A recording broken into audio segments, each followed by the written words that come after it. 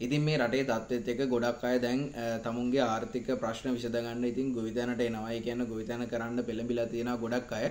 ඉතින් ගොඩක් අය මගෙන් අහන දෙයක් තමයි අපිට සාමාන්‍යයෙන් අඩු මුදලක් යොදවලා කරන්න පුළුවන් වගාවන් මොනවද තියෙන්නේ අපිට සාමාන්‍ය ආදායමක්වත් ගන්න කියලා. ඉතින් මෙන්න මේ ගැන මේ තියෙන රටේ තියෙන ප්‍රශ්නෙත් එක්ක මම හිතුවා මේක ටිකක් දැවෙන ප්‍රශ්නයක් වෙන්න වෙන්න ඇති කියලා.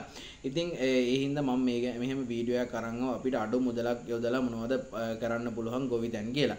ඉතින් මම මේ ගැන කෙටියෙන් සඳහනක් කරන්න එක බෝගෙන් බෝගේ. ඉතින් මුල ඉදර අගල අගට කරන්න කොහොමද කියලා මම වීඩියෝ සරන් එන්නම්. ඉතින් ඉස්සල්ලාම් මං ගන්නම් අපිට අඩුවෙන් අඩු වියදමක් කරලා කරන්න පුළුවන් වගාවකට බෝංචි වගාව. ඉතින් බෝංචි වගාව මං ඉස්සල්ලාම ගන්න හේතුව තමයි ඉතින් අපිට බෝංචි බීජ වල මිල ගණන් අඩුයි අපිට බොහොම අඩු මුදලකට බෝංචි බීජ මිලදී ගන්න පුළුවන් වෙළඳපොලෙන්.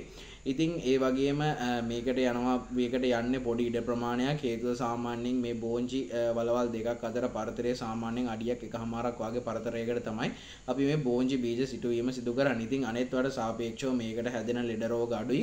ඉතින් ඒ වගේම මේකේ සාමාන්‍යයෙන් වෙළඳ පොලේ අපිට හොඳ මිලකට මේ බෝංචි අපිට අස්වැන්න මිල ඒ කියන්නේ විකුණ ගැනීමේ හැකියාවක් තියෙනවා. ඉතින් ඕක තමයි ප්‍රධානම හේතුව බෝංචි වගාව මං ඉස්සරලාම ඔයාලට අඩු වියදමකින් කරන්න පුළුවන් වගාවක් විදිහට ගේන්න. ඉතින් අංක දෙක ඒ කියන්නේ දෙවෙනි වගාව විදිහට මං ඔයාලට හඳුන්වලා දෙනවා බණ්ඩක්ක වගාව. ඉතින් බණ්ඩක්ක වගාවත් මම අර කලින් කියපු බෝංචි වගාව වගේම පහසුයි. ඔයාලට පොඩි ඉඩ කඩක විශාල ප්‍රමාණයක් ගුණත් වගා කරන්න පුළුවන්. මොකද සාමාන්‍යයෙන් අඩියක පරතරයක් වාගේ තමයි තියලා මේ බණ්ඩක්ක වගාව කරන්නේ සාමාන්‍යයෙන් දෙමුහුම් බීජ ප්‍රභේදවල.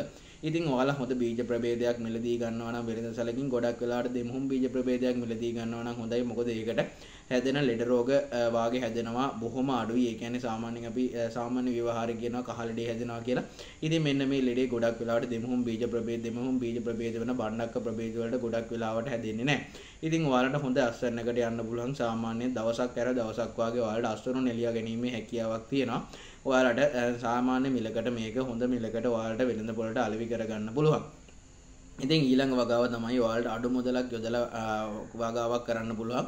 ඊළඟ වගාව තමයි කැකිරි වගාව. ඉතින් හැබැයි කැකිරි වගාව කිව්වොත් මේ කැකිරි වගාව කරන්න ටිකක් සැලකිය යුතු ඉඩ ප්‍රමාණයක් අවශ්‍යයි. මොකද මේක වැල් වශයෙන් යන භෝගයක්. ඒ වගේම සාමාන්‍යයෙන් අඩි අඩි දෙකක් දෙකමාරක් වගේ පරතරයක් ඇතුව තමයි සාමාන්‍යයෙන් මේ කැකිරි වගාව සිදු කරන්නේ. ඉතින් වෙළඳ පොලේ විවිධ කැකිරි බීජ තියෙනවා මිලදී ගන්න. ඉතින් හොඳ කැකිරි බීජයක් ඔයාලට මිලදී අරගෙන ඔයාලට අඩු වියදමක් කරලා මෙන්න මේ කැකිරි වගාව කැකිරි වගාව කරන්න පුළුවන්.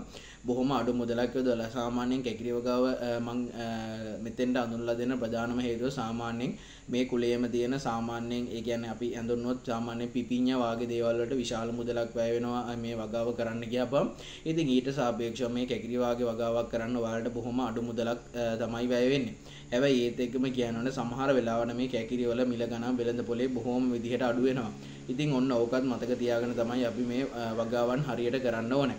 ඉතින් මම මේ කතා කරපු බෝංචේ වගාවත් බණ්ඩක් වගාවත් කැකිරි වගාවත් ගැන මම බලාපොරොත්තු වුණා ඉස්සරහට මේක කරන්නේ කොහොමද කියලා A to Z ඒ කියන්නේ මුල සිට අගට ඔයාලට වීඩියෝ අරන් එන්න හරියටම මේක කරන්නේ කොහොමද කියලා. ඒ වගේම අපි හොඳ බීජ තෝරාගන්නේ කොහොමද? ඒ වගේම අපිට මේකට පාවිච්චි කරන්න පුළුවන් හොඳ බීජ වර්ග මොනවද වෙළඳ පොලේ තියෙන්නේ කියලා මම ඉස්සරහට වීඩියෝ අරන් එනවා. ඉතින් ඔයාලා දැනට ඔයාලා අයිඩියා එකක් ගන්න මම මොන වගාවද කරන්න බලාපොරොත්තු වෙන්නේ කියලා. ඉතින් හැකි ඉක්මනින් මම මේ ගැන මේ ගැන එකින් එක වීඩියෝස් අරන් එනවා.